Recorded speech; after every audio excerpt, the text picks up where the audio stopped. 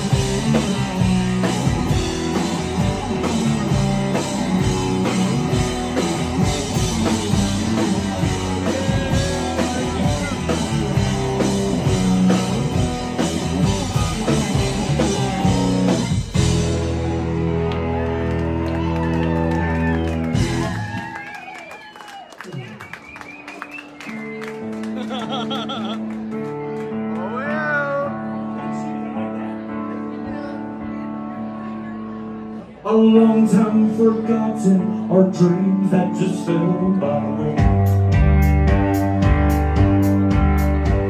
The train that